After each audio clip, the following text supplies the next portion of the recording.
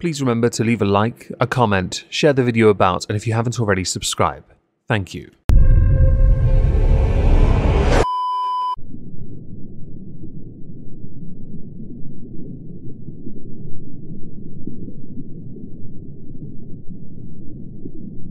Well, isn't this just fantastic? Captain's log, subdates 230113.7. As we haggle over Exterminatus protocols, I've received reports that a small contingent of TIE fighters has been probing the Arcadia shields. I've told the Arcadia to send fake data taken from a strip club. Hello everyone, welcome to the exhibition of stupid people. Today we're going to start with some gambling before making our way on up in the world to television. Liam Manifold from Staffordshire, an engineer, placed a £10 bet on a series of matches within the World Cup. If he was successful, he was going to buy his dad a mobility scooter, he was going to do some good things for his family with it. He was given odds of 1,495 to 1 after predicting on the 11th of November that Argentina would be crowned the overall winners, Lionel Messi would be named player of the tournament, and France would also make the final. Because Liam was victorious, he went back to the betting shop, Coral by the way, when he was told the events closely related to each other so the prices offered on them individually could not be included in a multiple bet. The bookmaker then said that they had made a very fair and generous offer for the settlement of the bet. That was £660 as opposed to the near £15,000 he was entitled to for winning. I'm starting to understand why those in charge of your establishments and other betting places get such monstrous salaries when they don't pay out for a bet that was placed. The issue really is that at the time his bet was accepted without any issue. So when Liam was asked about this, he was quoted as saying, I went to cash in the bet and they said it shouldn't have been placed and offered me £660 for it. I've gone through their complaint system, there is no leeway. I've gone to an independent complaints committee and I'm waiting to hear back from them. I've since had different companies contact me saying that if it was their company, they'd pay out. When I placed the bet, the guy behind the counter said it was absolutely fine. Now they're saying it's a related bet. It's now two weeks after the final, at the time of the article being published, and I don't seem to be getting anywhere. If there's an error, it's their fault for accepting the bet. It is very frustrating. Coral's response to this was these three events are all closely related to each other, so the prices that were offered on them individually can't be included in a multiple bet. If Argentina and France have made the final, then the odds of Argentina winning it are clearly much shorter than they were at the outset. If Argentina then have won the World Cup, the chances of Messi being player of the tournament will be long odds on. So we have settled the bet in the fairest way possible, paying out on the event with the biggest price, an Argentina versus France final at 22 to 1, and then on the basis that that had happened, we applied the price of Argentina winning the final, which was 10 11 before the game, and then on the basis that Argentina had won the cup, we applied an overgenerous price on Messi to be player of the tournament at 1 to 2, as the odds on that happening should Argentina have won the World Cup would have been much shorter. The prices on the slip had been written on by the customer, not the member of staff. We have settled the bet in line with our terms and conditions and we have made a very fair and generous offer for the settlement of the bet that exceeds what would have been the odds of such an eventuality had the customer asked for rush specific treble on November 11. Something Coral mentioned that might be where the bone of contention resides isn't necessarily in the fact they don't recognise the bet itself. It's the accusation that Liam Manifold put the prices on the slip himself. That could be argued by some to be a form of invalidating of the slip. However, as I'm not a betting man, I'm not entirely sure how one does such a thing. I don't know the system or the process, whether he is supposed to put it on there based on what he sees, at the time that is, to then pass it over to someone to pay for. So it is just a bone of contention, a potential one at that. My view on it is he placed the bet before the World Cup. Therefore, his bet should stand as it is, and you should pay him for what he is owed. But again, Coral, like many other betting outlets, have to maintain those profit margins so they can all rub their lobes or have someone do it for them. Before we continue, I've got two honourable mentions. The first is because of a recent announcement from the Prime Minister Rishi Sunak that education mandates children will be doing compulsory mathematics until they're 18. Here is an image that's apparently worthy of an article that is, ha, complicated mathematics. It's really not. It took me three seconds in my head, it's £24 for God's sake. Simon Pegg, an actor, was trending because he put out a rant about it. And I'm going to now mad educationally lecture you briefly on why I think it's right children should do mathematics until they're 18. Firstly, because I want them to suffer. And second, the more important one, it's not about doing the mathematics. It's the ability to solve a problem. We as a country have a vast reservoir of creativity, yes. And that'll be part of the future, yes. Unless you're Extinction Rebellion or Insulate Britain or any of those other groups, stop oil people, yeah, ruining art. Apparently, creativity is not allowed. But we also need people who can think of a better path forward for humanity. Problem solving starts with mathematics. If you can understand something, like a quadratic equation that you'll never use ever, you have the ability to solve problems and understand them. That kind of thinking is very important. If you can't fathom that, it tells me everything about how thick you are not understanding the words that comes out of someone's mouth to ask them the right question as a follow-up is really important. It shows how stunted you are if you can't grasp one sentence, one equation, one problem. The second honourable mention comes from Repzilla's Twitter, Creepshow Art teasing a return. Included is an image from Cody Rants, Creepshow Art, aka Shannon, has been active on Instagram. She posted a winking smiley face to her notes on Instagram. My view is if she comes back to YouTube, I wish her the best of luck, because it will be an uphill battle for somebody who had it very easy when she got there, and then cut corners and also was found to be a really bad person. To earn and regain the trust, you'd have to do something very unique, very special, because what you did when you responded to that criticism did not help and did not make you look remotely like a good person. It made you look like an absolute cretin. So, as I've mentioned Extinction Rebellion, should we talk about them next? The protest group Extinction Rebellion has released a statement with the headline,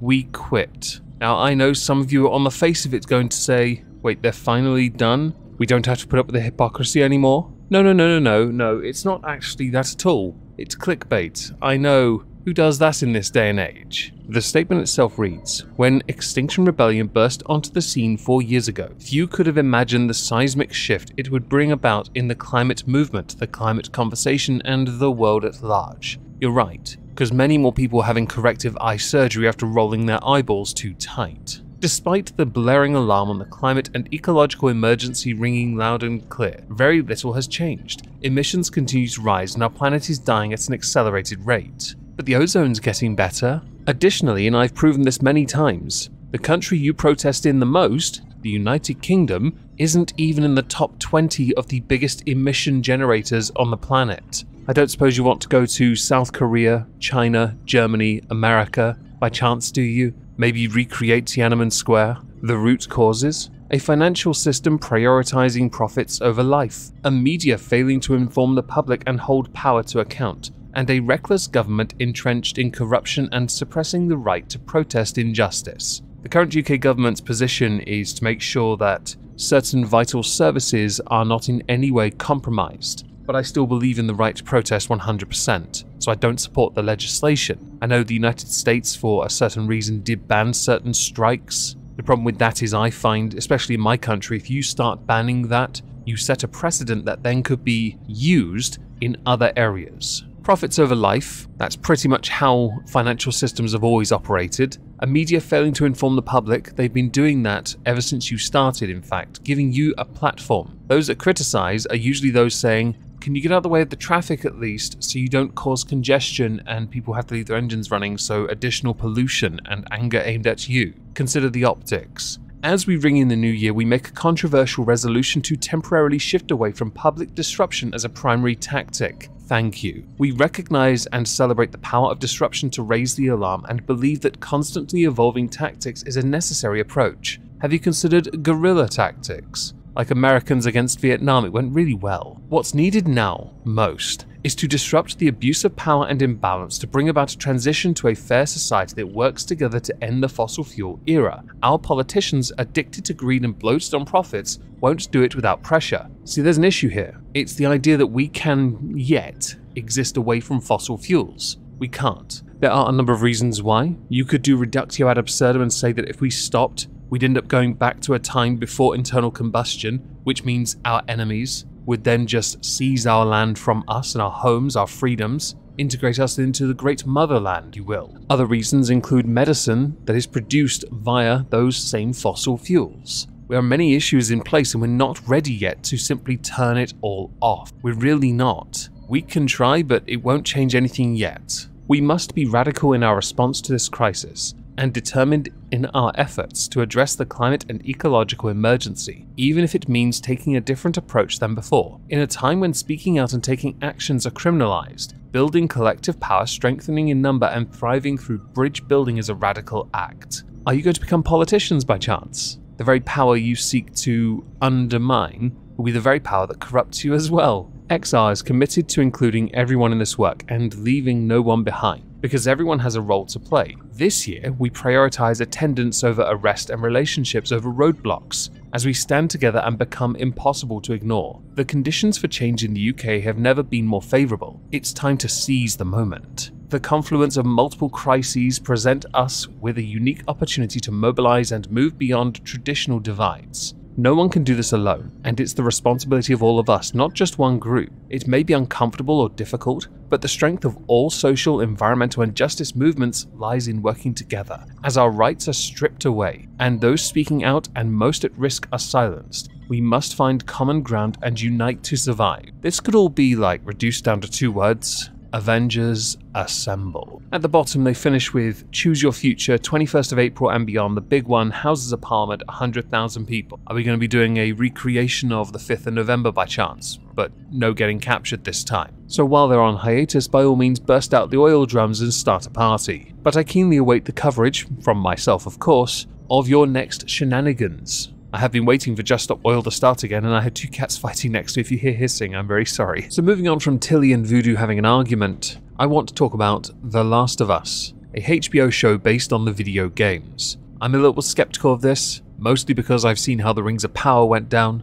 because I've seen how Resident Evil went down, all straying from the source material so much so, oh, but copyright, we didn't own the rights to this, being the excuse, so much so that the shows are shockingly shite. The Last of Us is not off to a good start. Naughty Dog Central had tweeted out Neil Druckmann confirmed that spores as seen in the games have been removed from the show, with Tyler Preston 20 pointing out, but that's the whole part of the story. And he's right. If you've played the games, you'll know how important they are to the story. The Act Man had tweeted, I remember they said something similar about the Halo TV show What Could Possibly Go Wrong, being a retweet of The Last of Us's Twitter account, the HBO one anyway, where Bella Ramsey, who plays Ellie in the show, said I was advised not to play the game, but I watched some of the gameplay though secretly. When one is not familiar, truly familiar, and immersed into the source material, one is essentially sheeple. One follows what they are told and doesn't do it right. We can say that The Witcher, to an extent,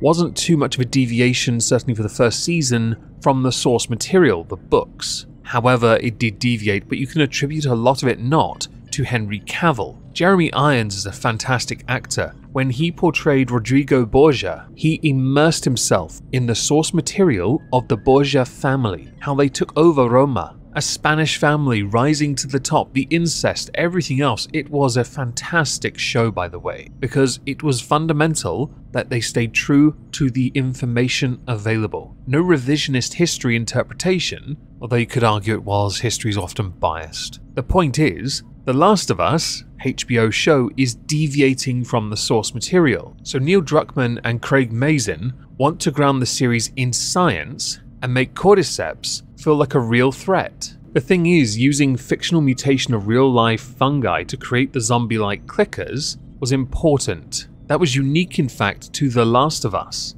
Also, we don't know at any point during the game how the outbreak began. So the entire story is very important to understand that. To change it to something else with some scientific merit. Are you just ripping off Skynet, where they adapted a newer movie, later on from the original trilogy, to include smartphones instead for Skynet? Anyone remember that tragedy? Yeah? Well, this isn't far behind. Stop deviating from the source material the very material that makes it popular and successful in the first place to make a show that will be again shockingly shite. Why? Because you have insulted the fans. The Resident Evil, Halo, Rings of Power shows are tragic, genuinely tragic. Whether it be a lack of chemistry, a lack of knowledge, or a lack of enthusiasm for the project itself. Please stop insulting the fans who love this so much. Also, you can try and make something that won't look anywhere near as good as the cutscenes from the games.